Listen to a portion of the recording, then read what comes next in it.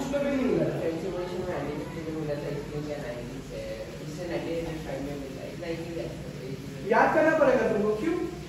वो करना पड़ेगा याद ना वो अलग अलग टाइम वो अलग अलग चीज़ से बनाई गई है अभी मैं क्या करूँ Throughout the 19th and early 20th century, women and non-property men organized opposition movement demanding equal equality. 19th century और 20th century के एंड में मतलब 19th century के एंड में फिर 19th century का एंड क्या हो जाएगा 20th century का